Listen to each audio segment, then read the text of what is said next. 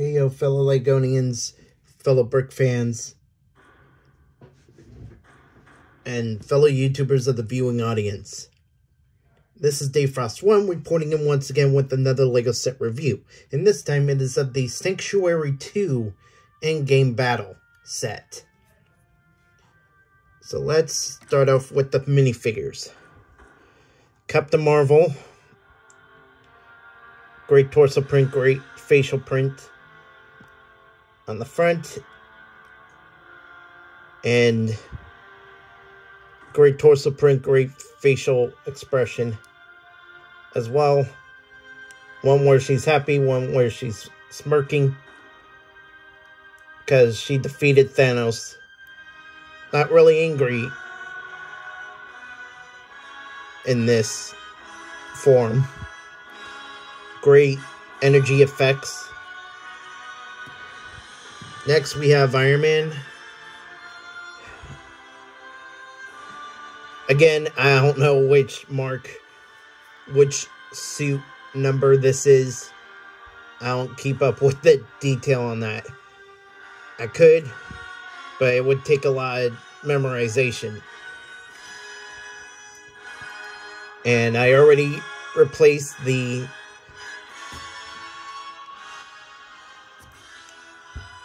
Tony Stark headpiece with this because, like I've said before, I rather have only one Tony Stark and Jarvis controlling and or Friday controlling all the suits. And obviously it would be Friday since Jarvis is Vision at this point. But there's also great armor, torso, and leg printing and I also enjoy the metallic pearl gold pieces for the arms and also great torso printing on the back. And also great energy effect pieces as well. Sorry, Tony.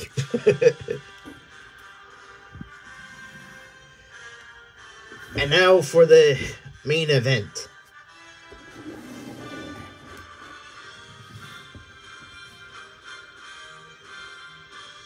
Six stud shooters on the top.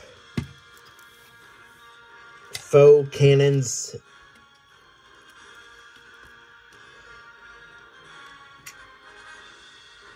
Up here towards the front. And uh, only the winglet fins can bend on both sides.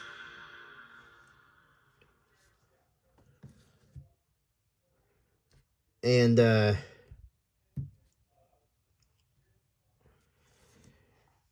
let's open the cockpit, and there we have Thanos.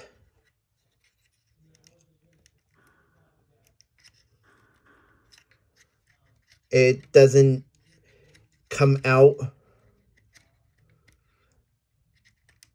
like the Guardian ship. It's just a seat with the control panel there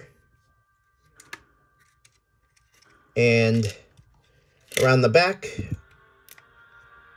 we get the gauntlet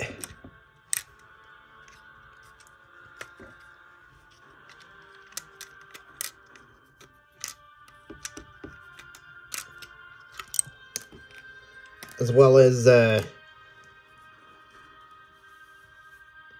some extra ammo for the stud shooters and there's maybe dark in there, but that's all there is. In the back is the empty space for the gauntlet and the extra ammo. And it comes in this form, since Thanos comes in minifigure form in this set. And then his double-edged sword is held by clips on the sides and the back. Not sure what this clip is meant to hold. But let's form the sword.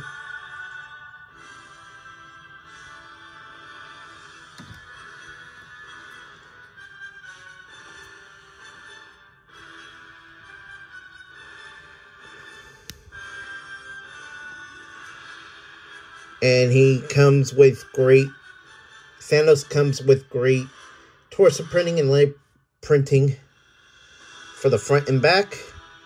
And no back head printing. It's just the angry one on the front. And that is it for the minifigure.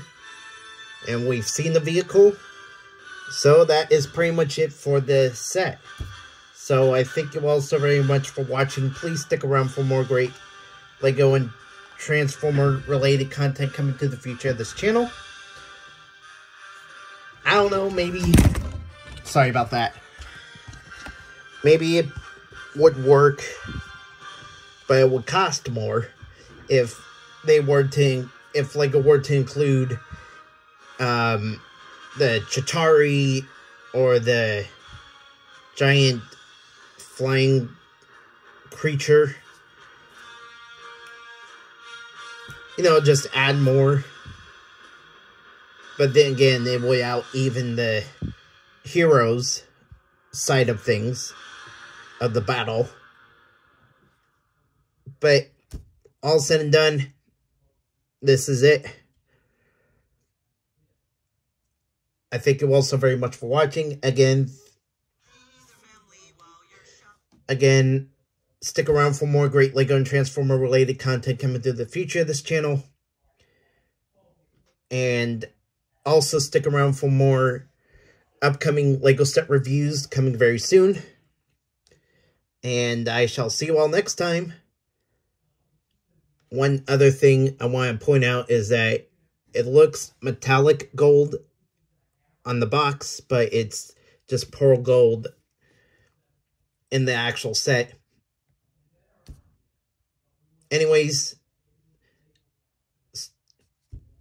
I shall see you all next time. Don't forget to hang loose, and so long.